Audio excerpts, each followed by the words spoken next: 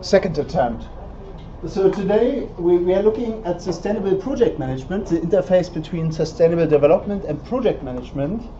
I point out a few kind of uh, um, differences that make it actually such a challenge, and then we have a look at applications yeah, from practice. So this comes largely from the literature.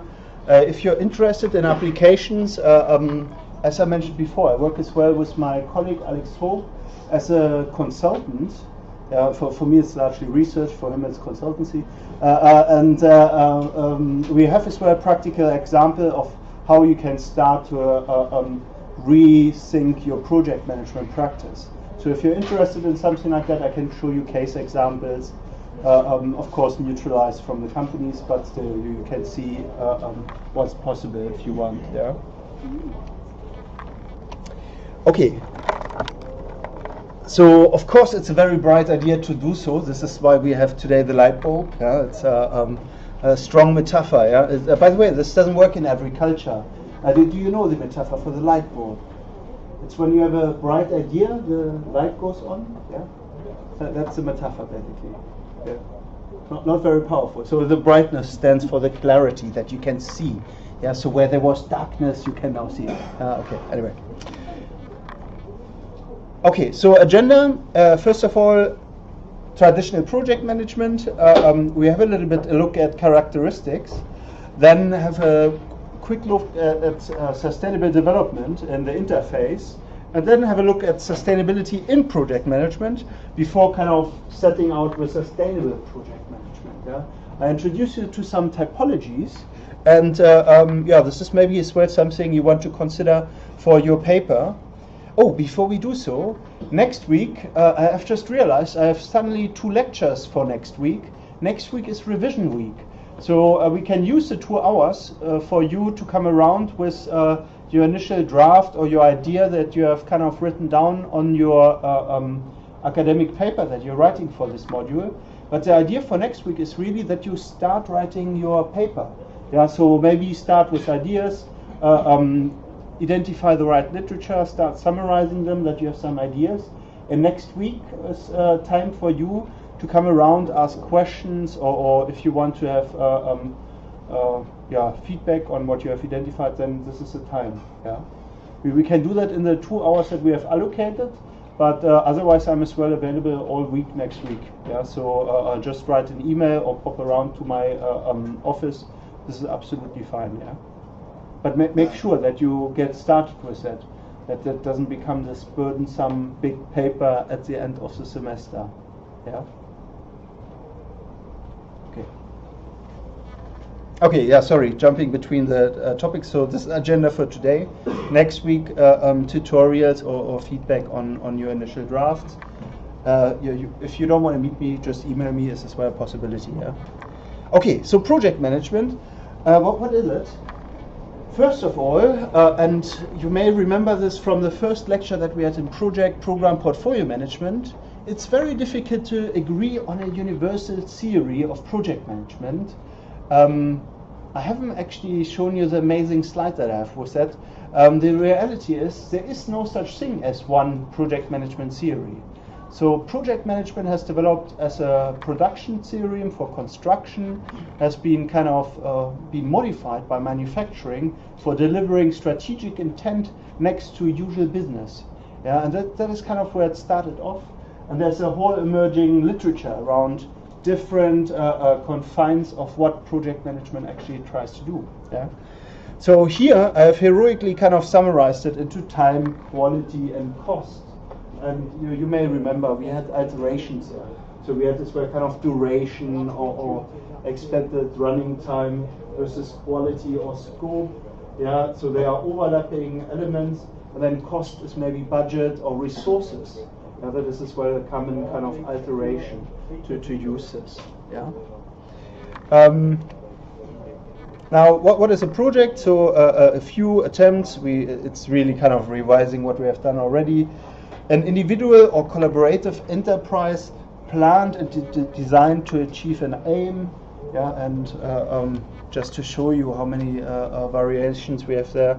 Uh, the, here from a professional body claiming uh, One, one way of doing it is a temporary endeavor undertaken to create a unique product, service, or result. Yeah, so again, this focus of, of outcome.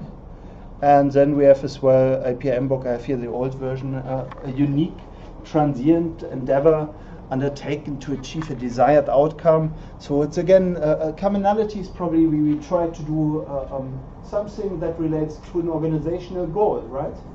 So I, I know we, we haven't actually written this here, but this is implicit, yeah?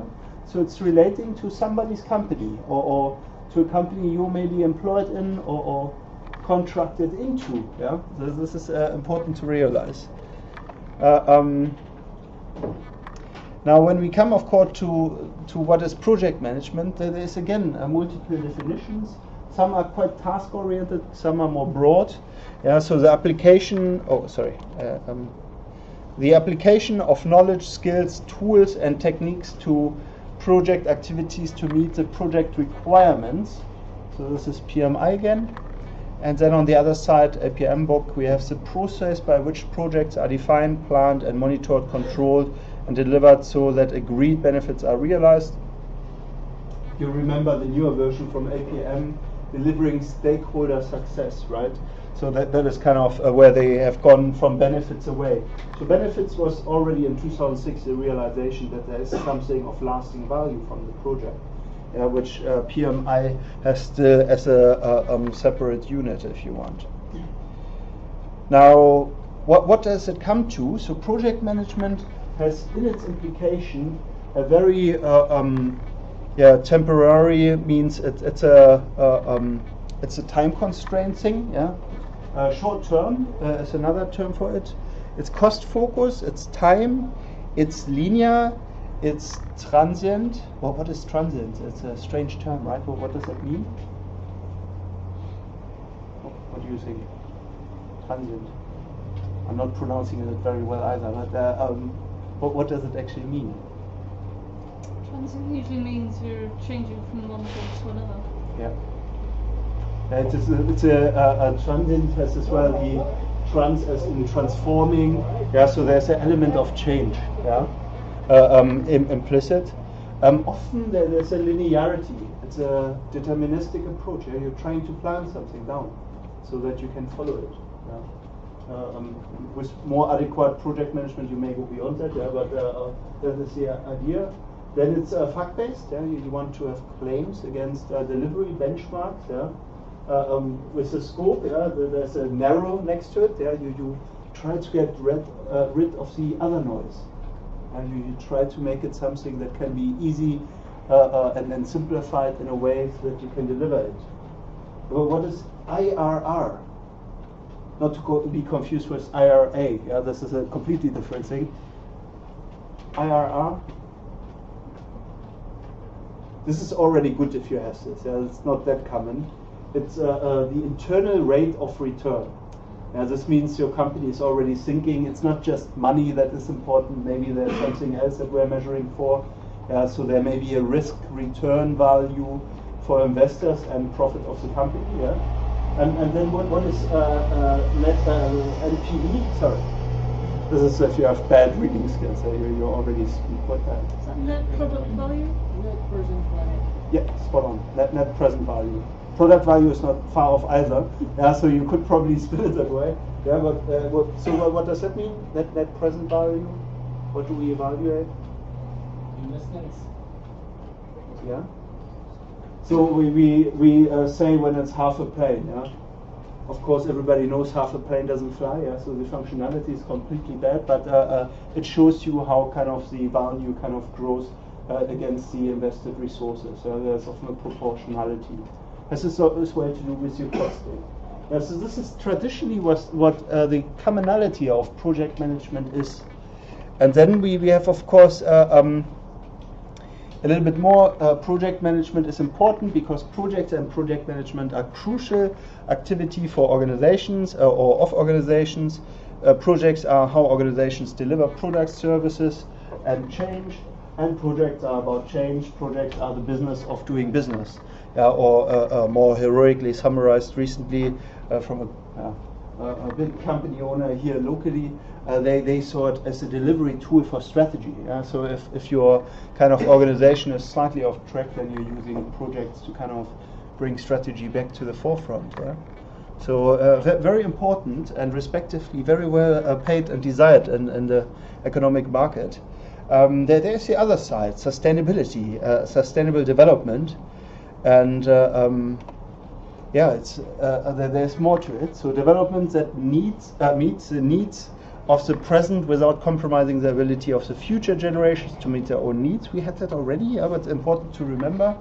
Adopting business strategies and activities that meet the needs of the enterprise and its stakeholders today while protecting, sustaining, and enhancing the human and natural resources that will be needed in the future. Yeah? So there, there's a huge P in this, of course. And then we had that already, the, uh, uh, the kind of drivers of sustainable development. Uh, there, there's an economy scale, there's an environmental scale, and a society scale. I've gone, of course, against the current here. And so we should have started economy, society, and environment. And they interrelate, of course, and are dependent on each other. And then we have kind of what sustainability is made of. We, we have here the environment, uh, society, yeah, precautionarity. Yeah? So we, we uh, uh, recognition that um, what, what we are interacting with has a fragility to it. Yeah? Long term, life cycle. Yeah? So and, and we are not thinking here of the project life cycle. We are thinking here beyond the product life cycle. We're thinking of the life cycle of people, yeah? societies, which is a, a, a quite quite a difficult one. Now, management-wise, uh, um, there is a well environment. I have that already. There's complexity that we recognize. It has to do with our planet, people, maybe bottom up. Uh, so, uh, what is bottom up? What what does that mean? It's not a hint that your your trousers are moving. Yeah. So it's uh, um, what, what does it mean? It's basically you're trying to work your way through the project. So if it's in a project management setting, you're trying to gauge the opinion of uh, the people who are considered at the bottom of the pyramid all the way to the, Yeah. to the top. Only a hierarchy implication. Yeah, and bottom up is kind of the people on the ground. Yeah, that are actually working in the localities and have a different perspective. Yeah. So maybe as a project manager, you are too remote from the locality to recognize certain elements. Yeah, then this is very strong to encourage actually the bottom up approach of feedback or, or involvement. Yeah. Then we have as well uh, systemic. Yeah, so there's a recognition that there's a knock-on effect. So we can't just fragment it and challenge it. So it has as well kind of uh, um, implication for the uh, other parts, if you want. Yeah. So it, it's an interrelationship, a causality. Then life cycle. It, it has to do as well with uh, generational. Yeah. So uh, um, and uh, yeah, it's a moment uh, for your generation. We, we are playing at the moment with the digitalization of the world, and we are playing as well at the moment with biogenetics. Yeah, so there's another wonderful game coming. Uh, uh, exciting for me, yeah, uh, as, uh, being at the university because it's a big game changer. But it, it means as well that we are again on uncharted territory. Yeah? Um, and it has to do with the future. And oh, TBL, what is that? Not a disease, TBL, what could that be? Is that triple bottom line? Yes. What, what was that? Triple bottom line? I can't remember what it is, but just. Oh, this, this was so good. Uh, that- this was- so TBL stands for triple bottom line. Yeah. It's kind of what companies have agreed to kind of sign up to as a minimum if they have corporate social responsibility, and it stands literally for this: economy, environment, and society, sustainability, basically. Yeah. So sometimes it's as well people, planet, and I forgot one P. People, planet, and another P. Yeah, okay, it comes later. we had it already in the concepts. Okay, so sustainability is of course important. The choice we make today affects the future. Uh, maintaining ecosystem services without which we cannot survive, creating a more equitable and uh, uh, just society, and of course sustaining as well human development. Yeah. Uh, um, but what is sustaining human development? Is that some creepy like laboratory thing where we kind of uh, uh, build Nietzsche's superhuman or something like that. Is is that what it is? Some, some people smile, so they they are, they are suspicious of this description. Yeah. So you, you doubt that th- this is the case. Yeah? What, what is this uh, meaning? Sustainable human development. Just using is giving people the ability to, to keep improving. Yeah. So on, on what basis? Uh, uh, Well, on the basis of a project, it's like um, on the basis of a project, it's basically when you do a project, it's never finite. There's always room for improvement, and Mhm. this is in terms of the human resource that you have. So the project gives the human resource around them the ability to keep improving in regards to the project, or if it's a business, in regards to the business or whatever it is. So it could be from an HR point of view, it could be in the form of training and development. It could, it could, it literally could be anything, but it's just about developing the human resource that you have. Yeah, so you, you had already a look at uh, human development, yeah, combined with sustainability. Uh, sustaining human development has as well the aspiration of equal access to equal opportunities. Yeah. This means no matter where you are, you, you can, well, it's, it's a hidden uh, uh, idea that is communicated a lot in the media. Yeah, so no matter where you come from, where you have been, uh, um, you can be who you want and uh, uh, when you want. Something like that. Yeah. So the, the idea is that there's a quality clear net, uh, resource uh, um, implication to training, education, and uh, um, as well health, yeah, to health systems. Then last one, uh, creating a more equitable uh, um, and just society. So there's a little bit overlap, but uh, this is what sustainability is for. So let, us have a look how that actually intersects. Uh, um, so we have here project management and sustainable development, and this is of course interesting.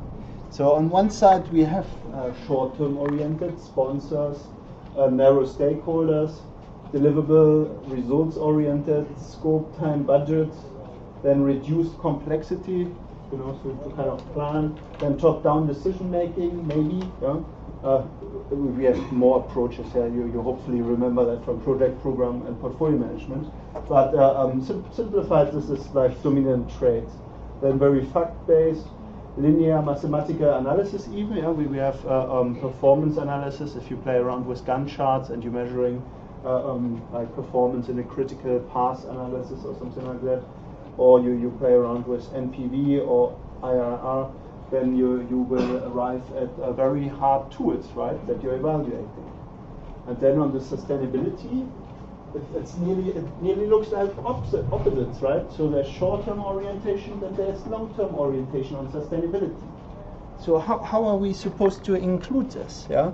Then we have uh, current and future generations. Yeah? We, we are supposed to consider those, and we find it already difficult to kind of consider our stakeholders yeah, that we can identify and are here at the moment. Yeah, and then you have the deliverables, result orientation versus life cycle orientation. Oh, the profit. I forgot the profit in the three P's. Triple bottom line. Okay. So anyway, uh, and then on sustainability, you have the people, planet, and profit, right? That is important. So is that the same here? I'm not sure. Uh, increasing complexity, so being open to new insights and being uh, um, kind of outward looking, right? This is what we are doing, sustainable development. And here, kind of reduce complexity. And then here, consensus, bottom up. And then on the other side, potentially top down decision making. And here, fact based, they're precautionary. So even if you have like hints or, or assumptions, you may want to uh, um, yeah, be careful about it. Systematic approach, uh, um, so relating to ecosystems, but as well to uh, um, social systems. And here, kind of linear. So mathematical is always compromising, right, uh, uh, to a degree for for the uh, um, yeah, basically quantification. You, you can't get around it. Yeah? And then here we have again the triple bottom line, so it, it's uh, kind of a double, but the sustainability of all. Yeah. So this is tricky, right? So what what, what are we going to do about this? Well, uh, the the quick answer is, uh, um, and this comes from practice, so views from the field. Uh, um, many people actually think uh, uh, that that is our kind of goal as project managers. We, we are the people in the place. So project management needs to consider environmental social constraints as part of planning process and uh, identify risk, challenges, opportunities to the company before the project is actually launched. So it's a upfront level. And this came from the uh, um, ex-president and uh, uh, now CEO, uh, no, actually former CEO now of the Project Management Institute. So if, if even they believe it, then this is a good sign. That is Mary McKinlay, our, uh, um, she is as well our external examiner. She's an adjunct professor of project management, but actually as well the president of the International Project Management Association. So if you're in any of the, uh, I know some of the Swedish students, I think, are in the young crew. Is that true? Young crew of project management? No? Okay, maybe not. So uh, um, there's International Project Management Association and the Swedish chapter, and I have definitely seen. Hmm, okay, so the uh, just to to preempt uh, results, I'm as well on the British chapter basically, but uh, um, last year uh, um, I, I, saw a lot of former Sharma students coming to the congress. But maybe this is in my mind. I, I assumed that there were some of you as well, but okay never mind. But she, she is basically the president of the European chapter. So, uh, and uh, even she thinks the future development of the project management profession requires project managers to take responsibility for sustainability. So, and uh, um, yeah, she, she comes from, uh, uh, I shouldn't really give too much out, but she has largely worked in um, heavy industry and defense sector. Yeah, so it's um, if, if that insight comes from that side, then we have really kind of missed something if we are not believing in that, yeah. And of course, there's uh, um, kind of the Academy of uh, Sustainable Communities, Mind the Skills Gap report. We, we had this well uh, recently, kind of the signed up goal, right? This is two weeks ago that we actually have an agreement that we want to reduce temperatures and respond to kind of uh, um, sustainability uh, um, challenges. So here, deliver a sustainable delivery of sustainable communities will depend on embedding principles and understanding in the approach to project management and amongst project management professionals. So they're actually targeting us and say, you are the right guys. Yeah? Oh yeah, and last but not least, uh, it's Taylor himself. He, he was a former president. Uh, this is not true. He, uh, oh no, yeah, he was. Uh, uh, he was actually president 2006 to 2008, I think. That is, project managers are ideally placed to make contributions to sustainable practices. So there, there must be something in it. Yeah, this is the point. So how can we look at sustainability in project management? Well, uh, um, there, there is a book to it, of course. Yeah, it's as well on my reading list, so you have it as well in the library. Uh, um, so current research is still quite patchy. So we have now a special issue coming uh, that, that you kind of got the draft for. Yeah, you write the same paper as academics have. So I have written one article too. So you can read that in March. Yeah, so it's sadly afterwards, but you can compare, right? You can look at our journal, all our articles, versus the journal that will be published. So this is pretty amazing. So current research, uh, um, just noticed, it's as well industry driven, actually quite heavily. Yeah. So versus uh, academia, it's uh, patchy, so the bigger ones are probably Silvius and Schipper. Uh, I've put this, of course, Hope and Luna there too, but uh, uh, we have only three papers so far, so we are working on it.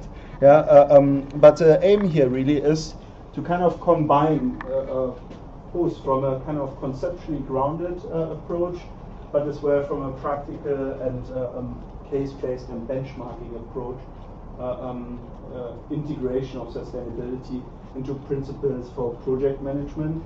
And this is not so much principles by which you have to live by, but a toolkit, you know, how you can assess basically your projects.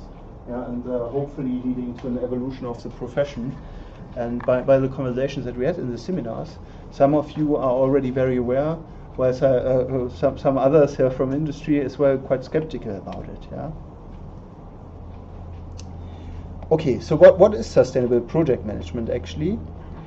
So uh, um, a sustainable project uh, is really the combination now from sustainability with the project management definitions.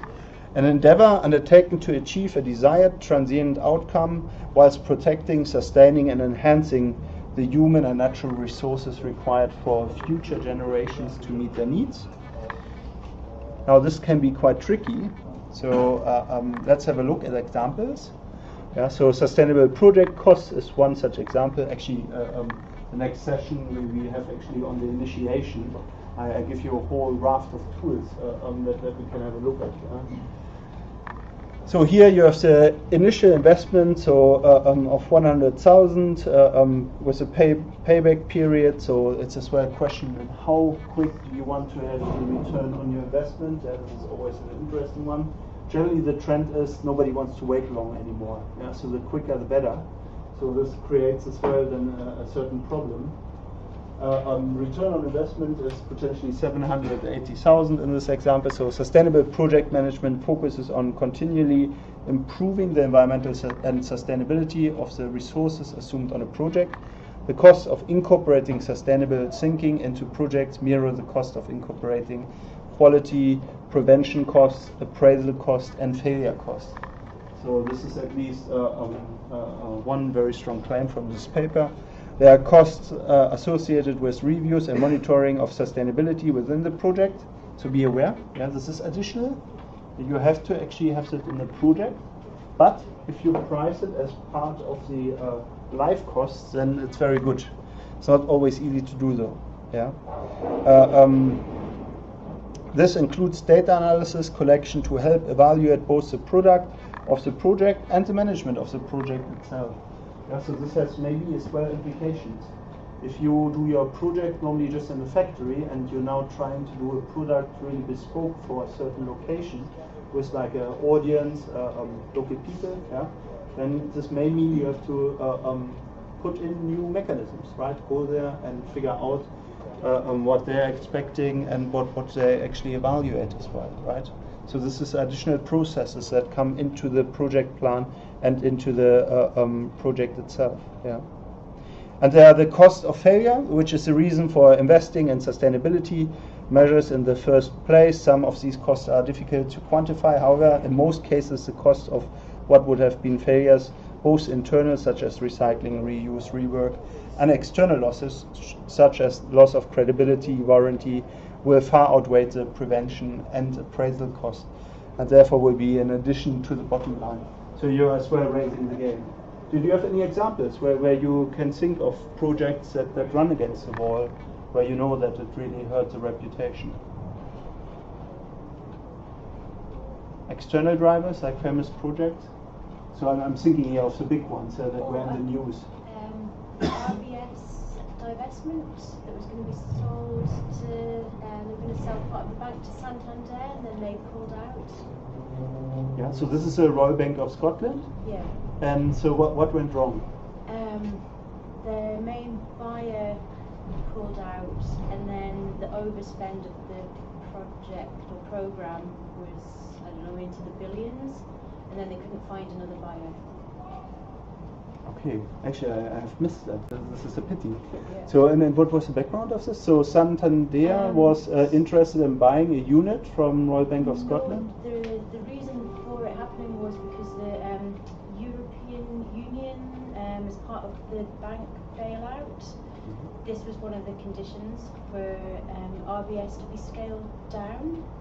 So then they had to basically kind of um, carve out part of the bank and then repackage it as another bank to sell on. Okay, And it's still going on. And they passed the deadline like about four years ago. And, Yeah. But yeah, under kind of European law, they've got to sell it on. Hmm. Um, yeah, and it's just costing loads of money. So this is uh, relating then to the bank crash, yeah? And, and actually, so Royal Bank of Scotland doesn't seem to work that uh, well, but it was the same. Uh, here we had Lloyds TSB, which is now Lloyds and TSB. Yeah, so there, there were quite a few banks that actually divided. And I, I think uh, it was, there were more banks, right? This was as well Halifax. Uh, Yeah. so those were banks that were nationalized and then uh, um, actually separated between, uh, um, well, the size really mattered. So they had to kind of show that they would uh, um, separate the group into different banks. So as well, Northern Rock was one of the banks, a local bank here, which is now uh, pretty much half owned by Virgin. So Virgin saw that as an opportunity to get into banking. Yeah. So yeah.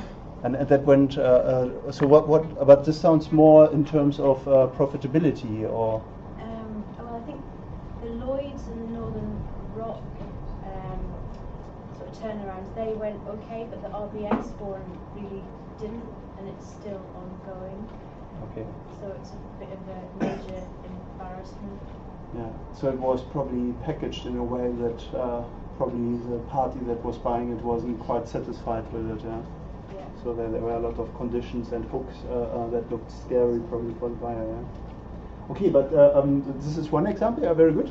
Uh, um, other examples, like maybe that, that uh, became famous. So I'm thinking here of external losses. You know, where the project actually looked alright, but then it went wrong. Um, the Samsung Note. The Samsung, yeah. Note. Uh, which one? Samsung. Samsung Note 7. Note 7. Oh, what, what went wrong with the Samsung 7? Well, it keeps exploding in people's pockets. So, do you know why and how? Well, they've pulled all production of it, so uh, they don't know either. they don't know. So they've, they've stopped production and it's been cancelled altogether. And it just got launched last month. Yeah. So the phone is not even a month old and it's scrapped. They said, no, no, that's it. Yeah, they released it initially, then people started saying it's blowing up. They then got them to send those phones back and gave them a replacement phone. And then when the Same thing. replacement phones did the same thing, um, they stopped all production, It and now US Airlines will refuse to take any of these phones on their planes in case they blow up and catch fire. Is that Okay. the waterproof one? Yeah, it's the waterproof one, yeah. Yeah. They're too, they're actually too It's the uh, Samsung uh, 7 Note, right? Note yeah, 7. Note 7. Yeah. It's not even available in the UK yet, it was only available in the States at that point. Well, So they this is- stopped production and they're recalling it back, so they're asking everyone to send back their Note 7. Yeah. That's it. That would be interesting. So, if uh, um, normally if it blows up, this means as well that uh, uh, um, have materials that can blow up. So, uh, It's the um, batteries are getting too hot. They reckon that the power of the computer inside the phone is too powerful for the battery, so the battery gets too hot and eventually it catches fire. okay, okay. Hmm, So, okay, so maybe something. Yeah, again, this was again probably a time pressure as well with design. Yeah, so They were trying to get it out before the iPhone 7 came out. Yeah. There, there you go. Which they good, good did. case. They did, but uh, Yeah. it didn't last long. Now Google has as well a new one. That's a, that's a nightmare for mobile producers. but you, you see here, so here it's actually reputation loss. And it depends really if clients want to stay then with, in particular if the competition has as well kind of similar uh, level products that may compete actually. Yeah? Okay, so that, that was a, a very good example. Another one maybe? Are, are you aware of any internal ones uh, um, where you have seen internal uh, losses or, or failure?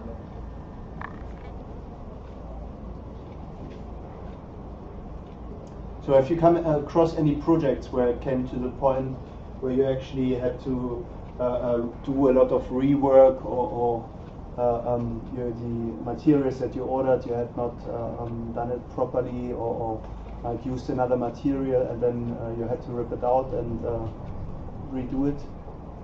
Yeah, I've looked at examples, but uh, I think already of, of concrete ones. So a- any examples there? Well, one that comes to mind, but the thing is that they just they just end up doing the wrong. They just end up not doing the wrong thing. Is um, when it comes to car manufacturers, they found out they made a mistake. Instead of just recalling and replacing the faulty material, they end up just selling the products like that and then dealing with loss, lawsuits later. So at the end of the day, they well, usually what the what the CEOs claim is that it's much more cheaper to just compensate people, even though sometimes people die. They feel, they feel it's much more cheaper to compensate people than recalling faulty products.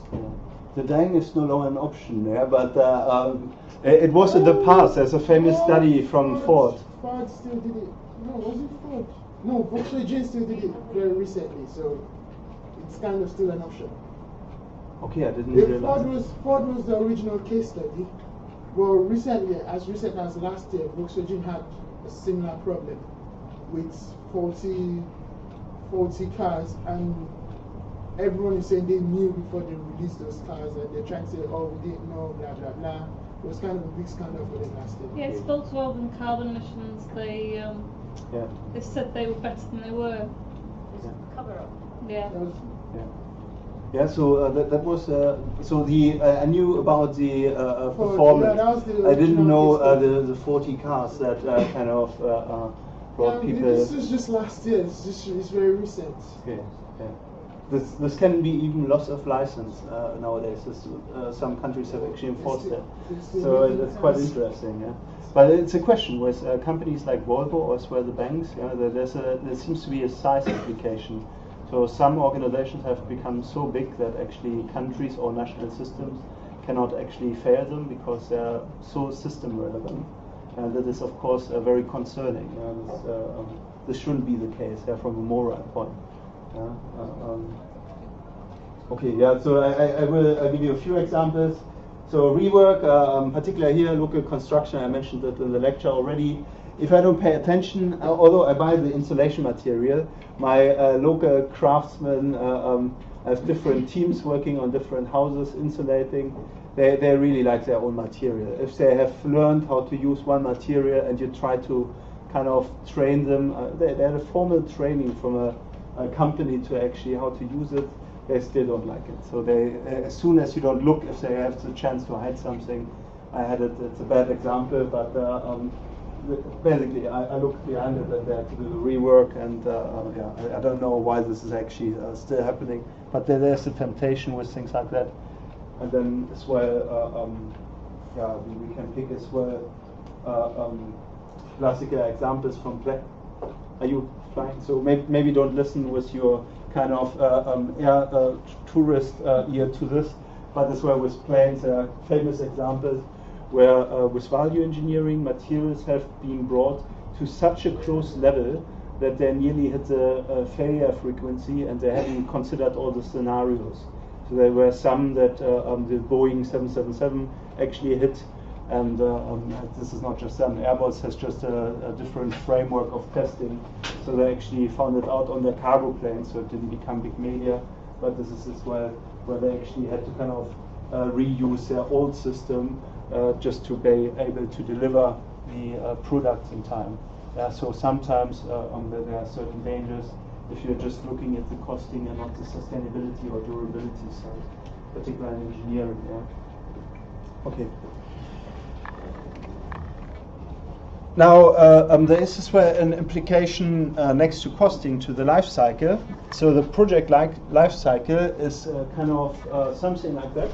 So you have the initiation or, or the, the actual uh, um, idea of your project, then a concept, then the definition, maybe mobilization of resources, planning, or whatever your, your approach there may be, and then the implementation and closure. Now this is very bad. So if your uh, project team kind of uh, um, runs off at that point and liabilities are respective short on, on uh, um, yeah, any format of uh, the work that you have done, then of course there's a cutoff. Whilst here the uh, new process already in our uh, professional bodies is focusing on legacy two or, or the lifetime of the product or service. So life cycle of a project typically begins with a project initiation and travels through the project closure and beyond. Applying sustainability to the life cycle thinking is essential as during every stage of a project, the environment and social and economic impacts are different.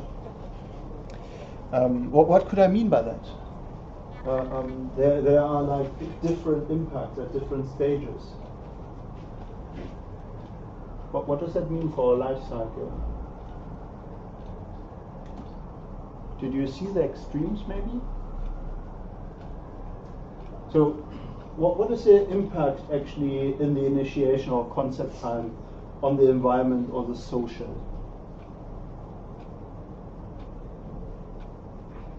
If, if you have a project, yeah, we, we want to uh, build me a wonderful bike yeah, for cycling across the hills here. But when we plan, is there an implication on my health or well-being? Or, or maybe environment? What do you think?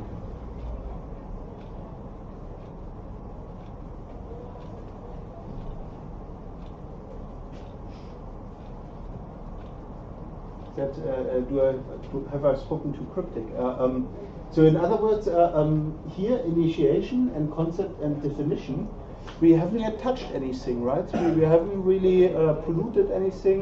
We, we, have no environmental footprint. It's just us exchanging hot air. Yeah, unless we are traveling to exotic places, yeah, exotic to here, yeah, so far, far away. Yeah, then or wherever you are, yeah, you, you travel somewhere, then okay, you may have an impact. Uh, um, so socially, we, we, we may have already impact. Yeah, so I may like my bike more or less, depending on what you're describing. Yeah, but um, this is very minimal. Uh, uh, maybe my other friends around me uh, uh, will as well be impacted. Maybe my family. And if the bike is too big and I want to hang it in the living room, this this is a there's conflict. Yeah.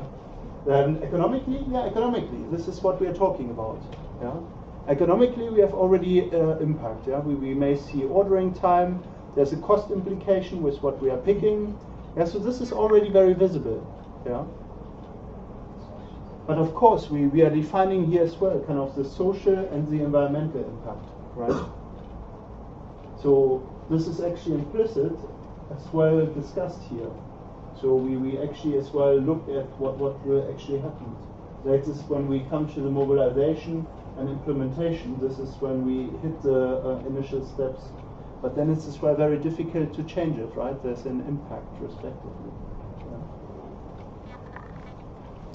Now, there are many ways to portray the project lifecycle. However, the APM generic project lifecycle covers six stages. So, hence uh, this one, and then uh, um, yeah, now now we have as well a legacy kind of uh, argument in the project management, but again, it depends which approach you're using. Yeah, so and uh, it's not necessarily a widely uh, um, distributed one. So, however, there's one extra stage of the cycle that affects the sustainability of the project, the long-term effects uh, um, beyond traditional project lifecycle thinking, and certainly past the date of uh, which the project is closed and handed over. This may be termed the legacy of the stage. Uh, um, nowadays, the, the recommendation is really to look partly as well at the product lifecycle.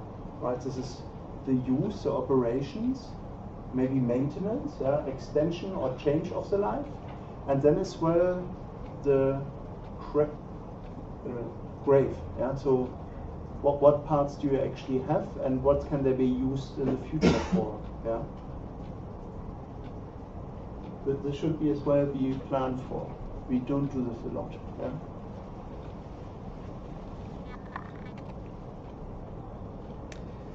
So if you combine it, project uh, um, project life cycle with sustainability, uh, um, the, this is one attempt. This is uh, um, actually looking at the interface.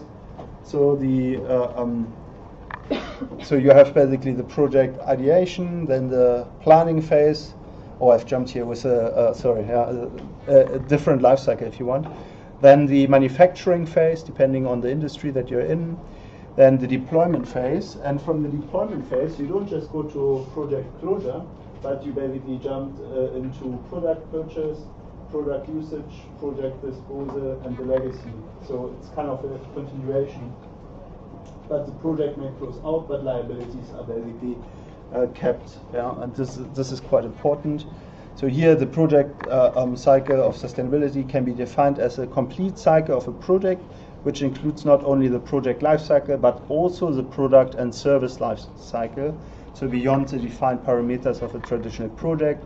In this model of sustainable project management, the true end of project is a point where the project no longer exists in any form, yeah, or your footprint has been kind of carried on.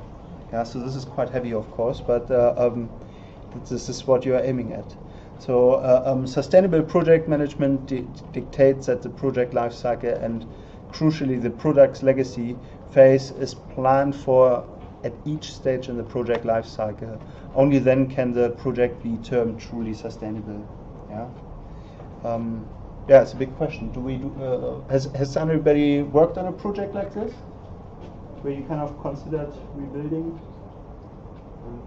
And in some industries, it's very popular. So uh, um, aerospace here locally as well. uh, with planes, we, we actually do that. Um, the guys that kind of came up with this uh, um, actually a slightly odd story.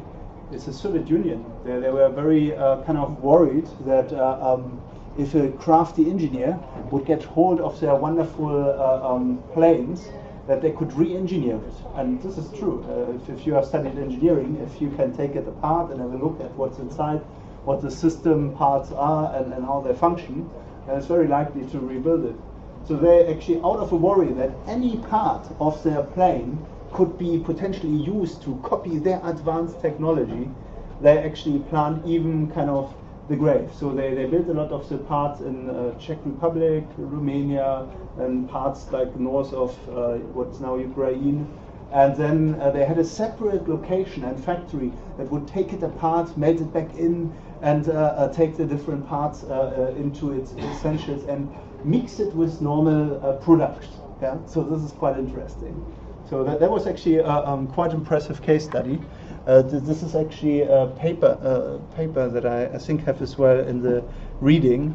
I have to make sure that I attach it uh, as well to the folder, but it's in the list. So sometimes sustainability can be motivated by other things. I guess that was the bottom line. Then the, you, you have the environmental scope as well. So this is understanding and controlling the scope of the project core of project management. So project managers which do this well are amongst the most successful in the industry. So we see that already in many industries. Uh, um, actually, construction the last 10 years has really shifted. Yeah? So nearly all sites have a waste management plan. We get rewarded for uh, um, saving resources.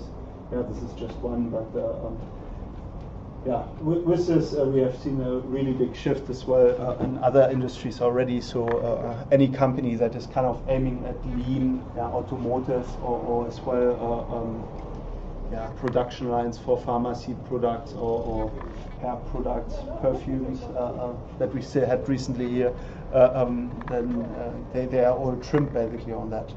So the environmental scope here of a project relates to the life cycle thinking it is important for the project team to view the project through an environmental lens and utilize life cycle thinking, considering the project itself and its processes, in particular the resources it consumes and the product of the project in operation.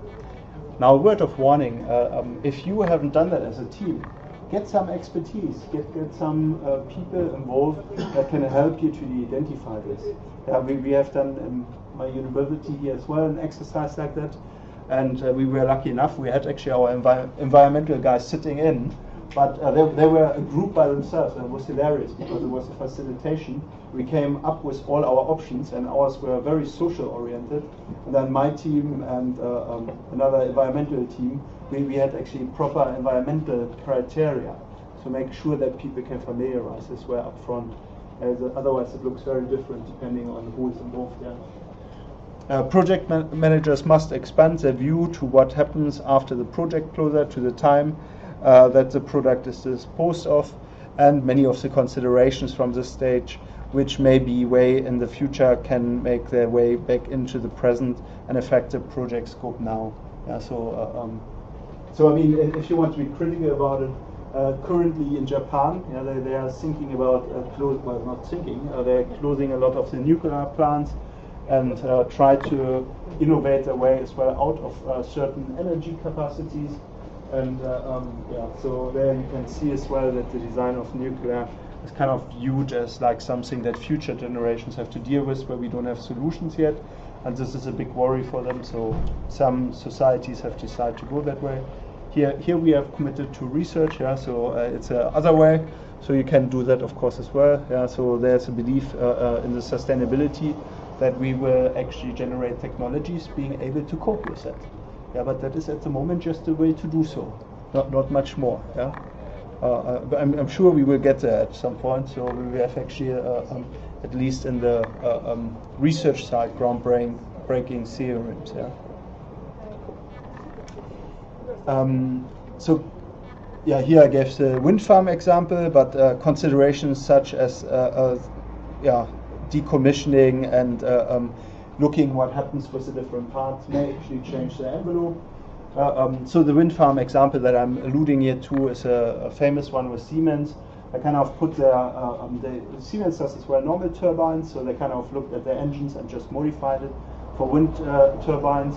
And uh, um, they, they use normal plugs, and I don't know if I've told you this, so they kind of use plugs for onshore wind farms, which is absolutely fine. They kind of blast, uh, uh, um, they go off if it generates too much energy for a long time. So if you have a hurricane and kind of the stopping engine kind of fails, then it overheats and the system, uh, the plug goes. It's not a problem. Somebody, uh, when the storm is over, jumps into the van, drives there, climbs up the ladder, puts a new plug in, yeah, and all, all is working fine again. Now they use the same for the wind offshore parks, which is kind of 100 kilometers offshore. Now that makes uh, kind of jumping into the van and climbing up all these different wind uh, turbines quite hard. This meant it was a helicopter, right? And you had to fly around. And again the plug flew out. So in the end for the next wind park they, they rethought basically the design of the plug. The plug was 20 pounds. Uh, the more expensive one that has a safety in it. Is something like 100 pounds. This was just not considering the uh, uh, life cycle. Yeah okay there's an environmental risk as well. So uh, there's compliance, risk management, and then kind of business and sustainability, and it impacts on economic performance and environmental performance. So there's a linear relationship. Um, do, do you remember that case? Do you know what happens there? Or what is this? Interpretation of my photo? Deepwater Horizon. Deep? Yes. Oh wow, this is very important. Halliburton. Yes, uh, they run it, but under which umbrella? Did you know the company that commissioned it? Really? Yeah. But it was actually Halliburton job. Service company. Yeah, yeah. So they, they are of course uh, contractors that would do it. Yeah, you spot on. Yeah. So uh, um, so this was actually a massive threat and uh, really led to BP being first of all highly fined, not perceived to be a, a company that is. Uh, um, so the oil and gas industry had already a little bit uh, um, patchy reputation to say the least. Yeah, uh, um, but um, BP was even branded as a as one of the worst companies in that selection. You? And that is of course very bad for, for kind of future business if you're trying to expand. Right? Have you seen this advertisements on the internet circling around like BP logo and bad people bad planning, big problems? Okay, okay. so the, you, you see what happens. Yeah. So reputation goes down, and uh, um, in, in, this case probably just as comedy. Yeah, but uh, this has as well real-term impact really on on your uh, interface with investors or, or, your future projects. Yeah, but uh, very, very good. Yeah. Uh, so risk can be defined as both threats and opportunities. So negative risks are categorized as threats, whilst positive risks are opportunities. Yeah, and with this in mind, project manager can as well recognize that many of the environmental aspects and their impacts on the project are really project risks, both threats and opportunities. Uh, did, did you have already a, a, look with either Claudio or Dave at uh, risk management? Yeah, so you, you had the basics and categorizing. Yeah, so there, there's as well a quantitative level. Yeah, if your risk and your project actually becomes so risky that it's a danger to the company, any company have uh, actually distanced themselves or, or, kind of made sure that it's a separate unit. Yeah. Google was uh, bullied into this uh, recently. Uh, last year, the government actually bullied them because they were in fear that Google is too big. Yeah, and uh, there was as well a system implication for the information network that uh, America is using. And actually, so are we, but yeah, different game there. So in the initial uh, um, phase of the journey, the need uh, to comply with an environmental regulation drives improvements in the environmental performance. But of course, as the project managers uh, can adopt more proactive approach in the next phase, so environmental risk management is introduced to reduce environmental liabilities and to minimize the cost or regular, regulatory compliances. So there's a direct opportunity if you're doing better, if you're embracing a system where you show that you are reusing all your resources and that you're very thoughtful, then as well uh, regulations like waste management are obsolete, right? So there's a win-win situation if you can embrace a system like that. But uh, again, this is uh, depending on initial, this is upfront costs if you want, yeah? So you, you have to put it in place. A, substantial number of uh, companies recognize that the implementation of sustainable project strategies can lead to new opportunities and improve results. The business and uh, um, sustainable development phase is like kind of the place where you want to host those, right? Um, the impact of poor risk management, well, this was an example with BP, and we heard that uh, in the internet it went uh, even much further. Yeah, so bad people. Uh, this is quite bad, right? If you're an employee, this is not what you want to get. It's, it's, uh, it makes you feel probably quite anxious. Yeah. Now the other dimension is stakeholder management. We had that already. So uh, um, yeah, spot here, uh, the, the categories are slightly different uh, um, from some of the models that I uh, have introduced to you. So when considering the project through an environmental lens, a sustainable project has a much wider list of project stakeholders than perhaps a traditional project does. Uh, this is not really uh, surprising. I, I, gave you the wonderful example of the Berlin airport, where we have now this uh, bridge for bats, and so they kind of crawl over it. It's uh, um, their thing. I, I, don't really know why. No, I, I do know why, but uh, um, so uh, in Berlin we had a, a um, airport expansion. So Berlin doesn't have a major airport, just small ones, but multiple. And uh, um, so the, the, aim was to have as well another big airport in, in uh, uh, Europe. So uh, Berlin actually went on that venture, and uh, they still haven't completed. But one of the things why the whole um, construction actually came to a halt was a demonstration of people that were very much um, focused on their local forest, an activist group that kind of lobbied for the ecosystems that were in the forest. And it's a very rare species of bats that uh, um, uh, is basically migrating there to reproduce. And they have a very bad behavior. They kind of make a sound and kind of crawl along kind of the uh, um, top of the trees. But what that has as a consequence is if the planes land over that, they don't hear basically their mates and then don't find each other So there was a fear of distinction, and they, they, had even a good case that that has already happened somewhere else. So, uh, in, in, a nutshell, uh, the, the, whole project came to halt, and then they negotiated with the group. So initially, they just tried to ignore it, didn't work. They were very active, and uh, um, in the end, uh, the activists kind of uh, um, collected money and built their own bridge, and that, that was the solution. There, there was no cost for the project. Yeah.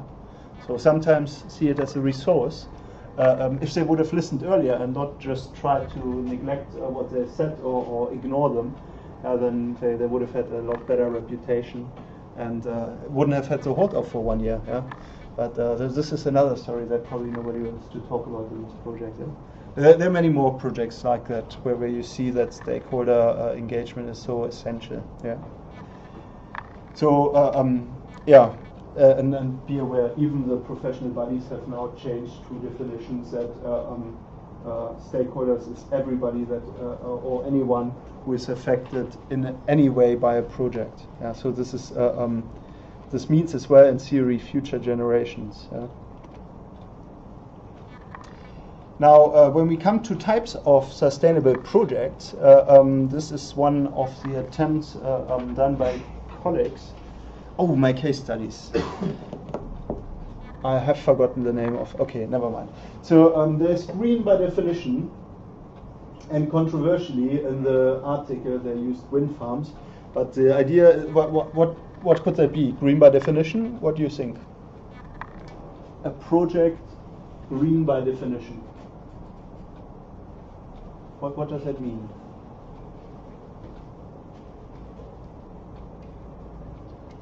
So first of all, we have green by definition, then green by project impact, then green by product impact, and green in general.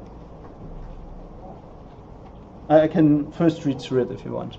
All projects have some element of sustainability, however, they differ in the amount and type of sustainability or environmental aspects they contain and how those aspects uh, manifest themselves. It is important to ensure that the project is successful, but we must also ensure that the product is successful. This means considering the impact of the product following the end of the project or handover. This is the use of the project in a steady state.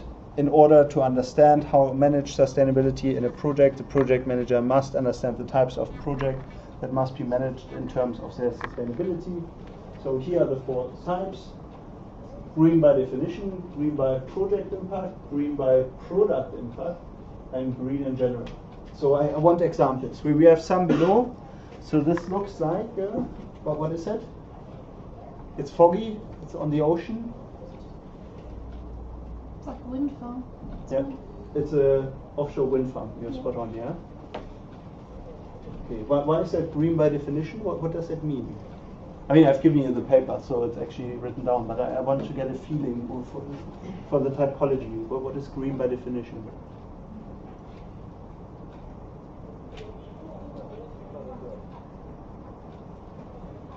So what could be a project that is green by definition? Renewables or something that's having a positive impact. Yeah, this is the next one, kind of, right? But you're, you're spot on. Uh, um, so, in, in a way, here the argument is made, at least in this paper, that the uh, wind farm is by definition, because it's a renewable energy, it, it should be uh, green by definition. I, I, I, have issue with that. Yeah, so there's a debate ground. I, I would say this is actually green by project impact. You're having here renewable energy the, the carbon blades are not as sustainable. Yeah? This is not uh, um, something that you just fold together out of uh, uh, tree leaves falling off, yeah? which I would more consider. So, uh, but uh, again, this is like being picky. Yeah? But uh, green by definition is literally the, for example, a change project in the university to be more sustainable. Yeah, although you may make a lot of un unsustainable elements, it's an intent to kind of do sustainable things with your project by definition. Yeah. So it's maybe the aim of your project. Does that make sense? Can, can we have another example maybe?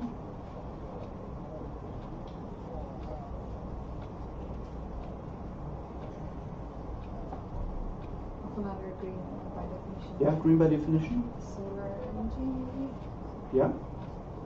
So uh, yeah, okay. So uh, renewable. Yeah. So uh, um, you have a project where you put uh, um, solar panels on your roof, yeah? Mm -hmm. Yeah, could be, yeah. So again, the, there's again the potential uh, uh, match, but again, yeah, if the intent is to make it more uh, uh, energy efficient in terms of being more sustainable, then you're spot on, yeah. Other examples, maybe?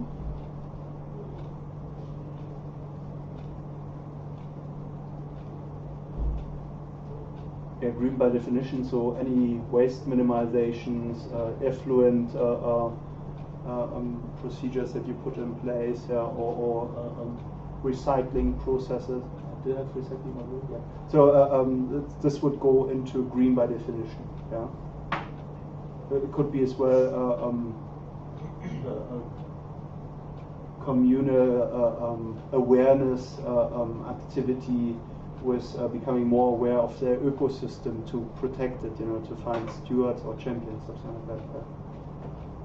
Or conversation, yeah, this, this is a, a conversation uh, uh, um, project can fall as well into this. So if you're trying to uh, maintain certain species, yeah, uh, um, but again, uh, this is actually further defined so they argue as well in the paper, for example, uh, technology to moderate the temperature difference across the world, yeah, which is probably quite. Uh, um, uh, it's it's a big thing. Uh, I know actually technologies that can do that, but uh, I would not consider them uh, really green by definition. Um, yeah, there are creepy stories from 1912 from our First World War. when I say our, it's past generations, they were as well kind of. Um, yeah, strange technologies as well. Okay, so green by project impact. So what, what type could that be? So this is a car, if you can see this, uh, um, kind of parked and there's a line hanging out of the tank. what, what is that? Electric car. Yeah, electric car. And well, what could be here the green by project impact? You're trying to save um, the Earth's resources by not using petrol. Yeah. So it's a fossil fuels uh, um, replacement, yeah, with an electric grid. Again, the intentionality is maybe uh, um, the impact element, uh, that you have an alternative infrastructure, that people have the choice of, of uh, um, moving there again. But, the- but you don't know if the electricity is maybe. Yeah, it would completely defeat the uh, uh, purpose. Yeah, if you have next to it kind of a oil refinery that kind of burns the uh, um, oil to, to create electricity, or as well a big coal plant. Yeah, and then then you have of course kind of um, undersold idea there. Yeah? This just means we we are moving backwards in um, engine design. Yeah, but um, again, research-wise, this is interesting for university. Yeah? So maybe other uh, um, uh, projects, Green by Impact. Examples? Was that the replacement? Yeah. Uh, what? No, I just asking, was it like a replacement of energy? No, the green by impact. Yeah. Was it when you replaced something? Tell me what, what was it? So yeah, here it was a, a, building infrastructure for allowing alternative use. So electricity is kind of the medium on which the cars run. So you can then feed it with anything, right? So wind energy, ideally uh, uh, more uh, um, sustainable strategies. But if you look at the design, actually uh, um, coal plants uh, shouldn't really say that out too loud. But uh, they, are very efficient in, in energy generation nowadays. We have really optimized the turbines and the whole system design because it is highly effective, well, efficient and effective in terms of uh, um, engineering, whereas uh, wind farms we are still at the beginning with our technology. So there's a, a um, risky argument somewhere in the middle. Um, but yeah, so the idea is here if you have hydropower, and then the question is: Is it is it okay to big, build a big infrastructure like a, a water dam wall to kind of uh, um, yeah interfere with the natural ecosystem and, and have like a huge water buster that actually allows turbines to run at efficiency values versus uh, um, just having the maybe coal plants there. Yeah. But uh, um, so there, there are ratios, and, and uh, um, this is a hot debate. But uh, then you are looking really at a very big plot. Yeah. But yeah, the uh, um, energy network is neutral as we want. Yeah. So by impact, you're allowed to as well use other sources. Yeah. Uh, other other maybe uh, green by project impacts. A nice one I've seen recently is um, beehives on, um, for making honey on the top of um, skyscrapers. Yeah, New York is very famous for that. Yeah. So this is the idea of. Uh, oh yeah, did you know a little bit more about that? Oh, which hotel was it? Somewhere like Claridge's have got, uh, in, yeah, and then they can make the, yeah, they have the honey there and then they'll put it on the tables in the hotel. Yeah. Okay. Yeah, so it's kind of the idea of local. Uh, um, I think I, I know actually for the wrong reasons for that. Uh, our culture lab uh, um, kind of analyzed. Uh, um, so culture lab is just over the road.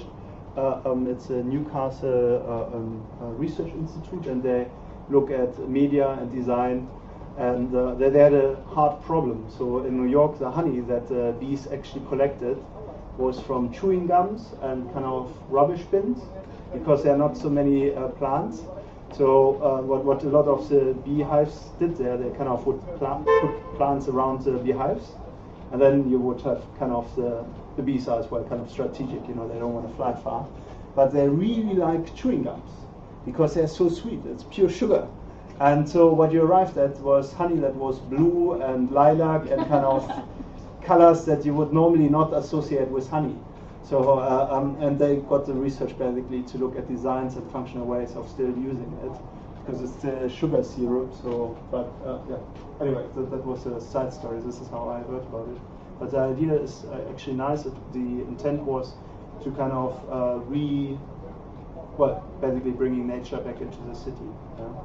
New York had a, a, a city planning that has kind of removed all the trees and nature out of the city, and now they're trying to reduce it back, in, uh, uh, reintroduce it back into the city. This is potentially even green by definition, yeah, I, I would say. But green, green by project impact.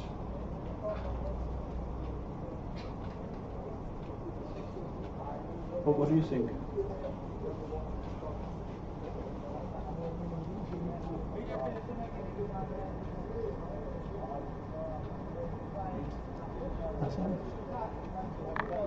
How, how can we, well what, what would you uh, see as a, a green by uh, um, impact in your personal life?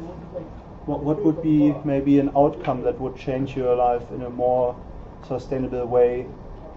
I mean, this is an American model, so hence it's green, yeah, not sustainable. But uh, um, it's, it's still the same theorem if you want.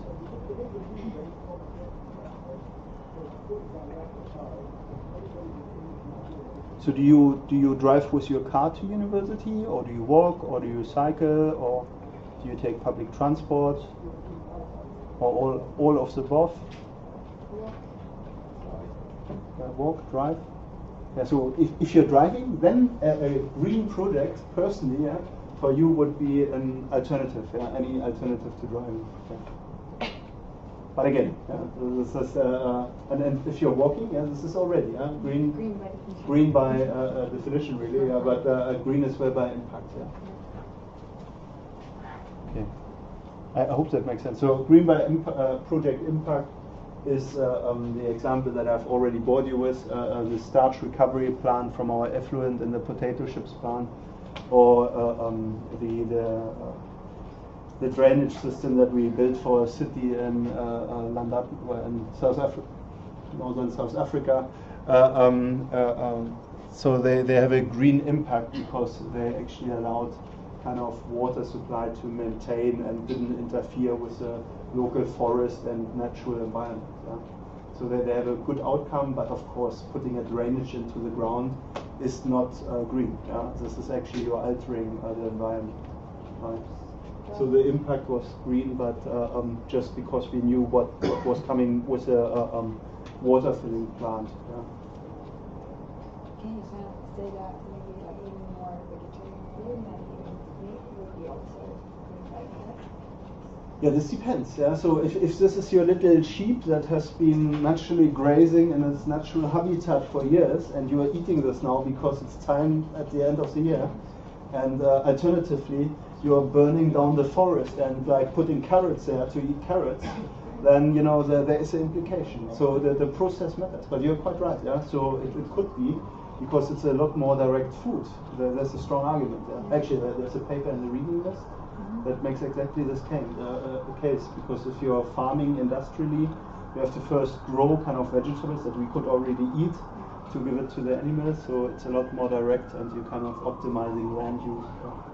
So it's a good example. Yeah? But again, it depends. Yeah? So uh, uh, I, I don't believe that you would have thought of the uh, uh, burning down the forest, and, but uh, um, there's I heard a lot about it uh, when you using a lot of water when eating meat. Yeah. yeah. Is this a TED talk? This sounds very familiar. So I've It but I haven't seen it. Okay, okay. Yeah, yeah. So uh, uh, literally, if you're looking at this, it's a ratio of nine. So to eat uh, 100 gram of uh, um, uh, meat, you have nine times the water consumed uh, um, than uh, eating a vegetable, and uh, this can be even quite quite uh, um, enriching vegetables. Yeah. Okay, then we have uh, green by product impact. And here I have, oh, this, this is a local e- uh, example. Does anybody recognize this? It's a police office, believe it or not, locally here. And I've forgotten the name, sadly. Uh, yeah? And North Tyneside. Yeah, no, North Tyneside. Cobalt. Park. Yeah, this is spot on, but I don't know the name of the building anymore. That escaped me. Yeah, I'm not sure. So basically, what they uh, created is a, a passive house. So it's kind of uh, self-generating heat and it's passive in its energy use. Doesn't really work. Uh, uh, the the colleagues don't like the so the there's something with the air condition. They don't like the air, so they open windows and then the aircon runs. Uh, um, yeah, but still, the idea was actually green im- uh, product impact, so n- neutral in an energy household. This is one way. Yeah. Then uh, green in general. Uh, um, so here we are looking at the project management and uh, product delivery. So what, what could that be? Green in general.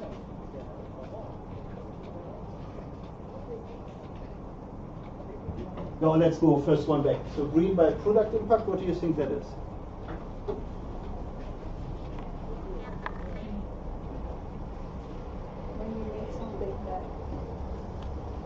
challenge sustainability. Yeah. Get something for it to Yeah. So it's actually you- you're spot on. Yeah. So you, you have actually explained the definition. Yeah, uh, which is spot on. Uh, um, so it's a house that is neutral in energy use to comparison. So it's a benchmarking, right? So if you can show that you're performing better, yeah, that it's actually uh, less energy intensive and that the products are more kind of aligned to uh, um, better use or recyclability. Recyclability is that term? I'm not sure about that. But uh, um, then then you are basically hitting this. Yeah, right. Product impact can be as well uh, um, other elements. But what could be other uh, impacts from a product? Or what do you think? Actually, I see it a lot. A lot of you have smartwatches, so that count uh, um, steps, and if you combine that with an app, that kind of encourages you to walk instead of uh, using transport. Uh, it's the same spin again, yeah. Then this can be as well sustainable. Uh, what, what really surprised me, uh, um, according to Google, the Pokemon Go is uh, uh, one such device. The gamification of going for a walk. Yeah. Uh, actually, does everybody know this? Yeah. So it's an app you can upload and it's Potentially not sustainable because when my son got it, he went, you know, he's always in his bedroom. When he first got it, he kept going out for walks, but uh, he got bored of it and then he's still in his bedroom. So it depends on how much. okay, how, how far it's embraced, yeah. Okay, so the game layer wasn't good enough. Yeah, he No, it got. wasn't uh, good enough yeah. to keep him walking. Okay, okay. Yeah, but uh, it's, uh, it, it's a big phenomenon in many places over the world. Yeah. Um, other maybe green by product, something that you have come across? Uh, renewable coffee cups rather than disposable ones. Yeah. Do, do you mean like you get a normal one with porcelain or, or Yeah, or like one that you a refillable coffee cup. yes? They sell them. in the Yeah, true. Actually, we, we have them. Yeah. So that that is one such element. Yeah. So still, the initial manufacturing is probably not so good, but uh, um, so then in comparison against uh, consistent ways, if you keep uh, um, using it, then it's probably better. Again, you, you would have to look at the numbers here. Yeah. But uh, um, other ones, green by product impact.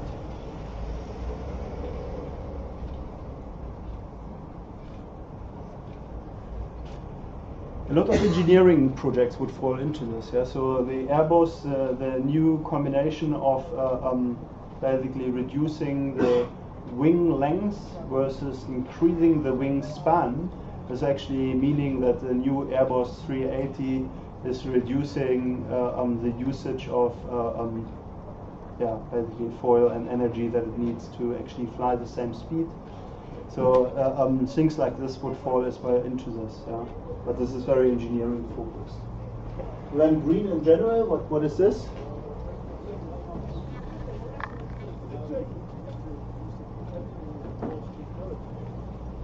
The rest.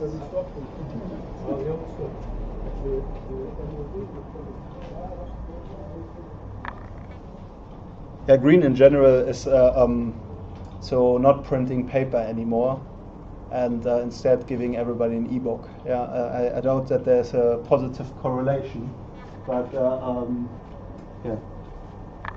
So th- there, there are a few uh, um, projects like that. Now this typology is quite interesting for us because it means as well that there's a different focus of sustainability. Uh, of sustainability, and if you want to have an impact as a project manager, the role is increasing. So at the level of green in general, you are in the position where you have to ask for a lot of power in your role to actually make an impact. So it becomes more difficult for you. If you do green by definition, you, you don't. Uh, it's fine. You are already in the right framework. There's very little uh, um, problem for you to ensure that it's sustainable. Uh, sustainable, right? So in, in this typology, the role of the project manager in ensuring that uh, sustainability is embedded throughout the project lifecycle and beyond is critical. However, the degree to which the project manager must assert these principles differs depending on the type of project. So that's the recognition. If you have a project that is only green by impact, uh, uh, green in general, uh, then you can play around with some tools along the project, but uh, um, there's very little remit for you to change everything, uh, anything. Yeah. So as the project focus on sustainability becomes less defined, the project manager must assert a stronger and stronger role in order to have a positive effect on sustainability of the project.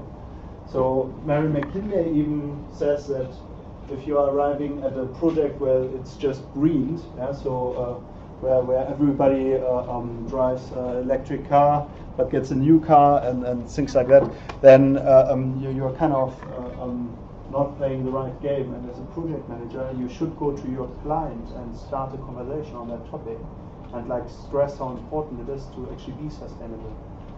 Now, Mary McKinlay is a very uh, uh, powerful woman. She's very convincing. So th- this may or may not be a part of your role, but be aware that more and more the responsibility is put on the project manager. Yeah?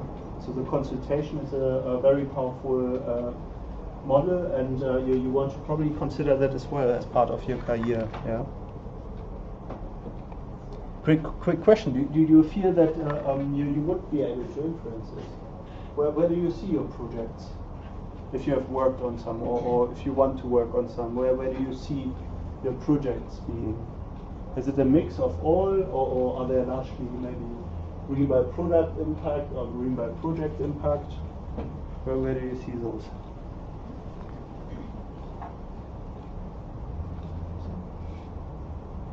Or, or do, you, do you find it difficult? I, I remember we had the conversation, right? Uh, um, there, where there's some greening going on, but it's very, very hard for the project manager to do ev- anything, right? Because it's already kind of set from the client and it's really just a delivery job and making sure that all the uh, stakeholders basically uh, perform, right? Or, or was it not you? was you, right? Yeah, well, well, So, for example, if you were going to do a, I don't know, a six-month job in somewhere like BP, it would be maybe be more difficult. Yeah. Well, uh, I mean, the project manager arguably has a similar role, right? So you, you have kind of the uh, definition front uh, end uh, um, role, and then maybe the delivery role, yeah.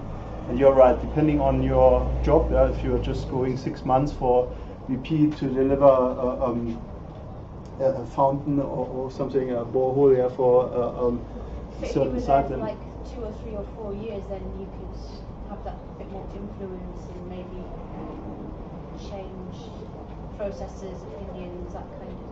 Okay, so you see it already as a, a long-term consultation, shifting culture, yeah. So uh, and then seniority, and of course knowing your your fellow staff, and you know maybe as well getting a feeling where everybody stands on this is quite quite a tricky one, right? Yeah, I think uh, what I've found anyway is a lot of people in organisations are just dismissive of these sort of sustainable issues, and you're kind of uh, you kind of labelled a tree hugger.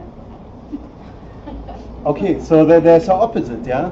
So there's a fear from that change, yeah, and and uh, in response, uh, people are skeptical and uh, overemphasis tree hugger, yeah.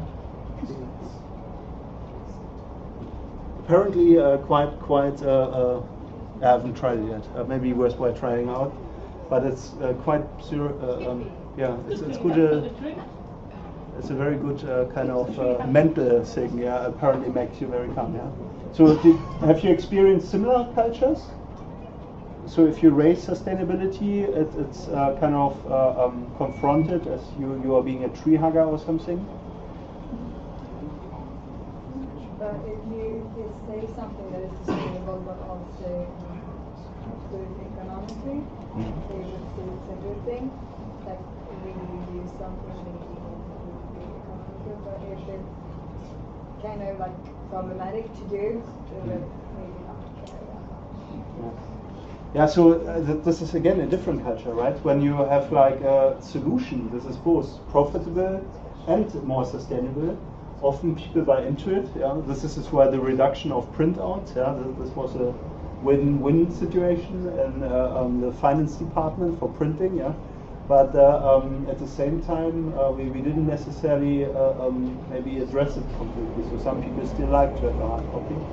And I suspect it's the same. So the, the culture is already focusing on solution, not so much on, on embracing a problem to come to solutions. Yeah. This is a tricky one.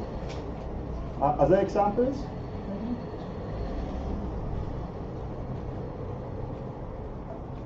Yeah, be aware. So depending on what company you're going in, there, there are different cultures around. Yeah? So culture is a very strong driver for this. And respectively, you, you have uh, different levels on where, where you're entering into the debate.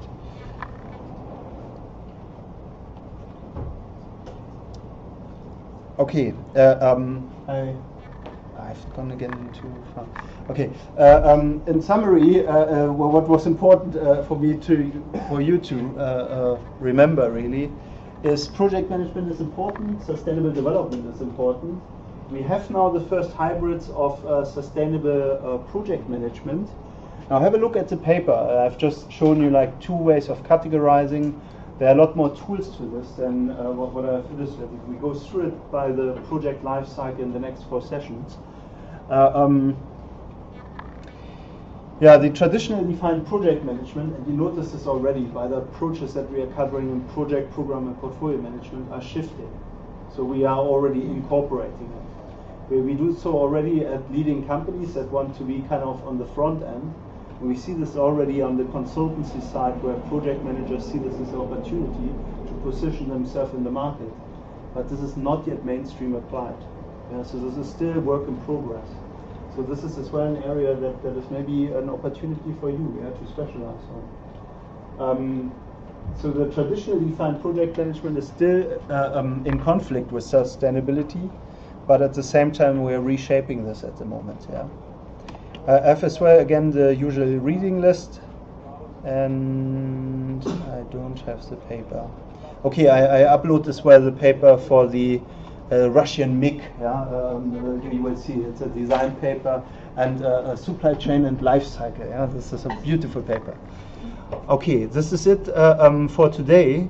I had a small exercise which I uh, um, encourage you to do uh, as a homework. It's in the e-learning material um, for next week, please uh, get started on your article, yeah, on your journal article. Identify literature, think about the structure, what you want to do, and next week we don't have a formal session. I probably because it's in the timetable, I will probably rock up.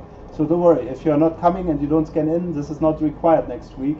Yeah, I will just accept you all uh, um, you, you, can either just email me or if you want to speak to me and want to have a look uh, with me over it, this is the time to do it. Yeah, next week, same time, or, or book an appointment. I will be around the whole week.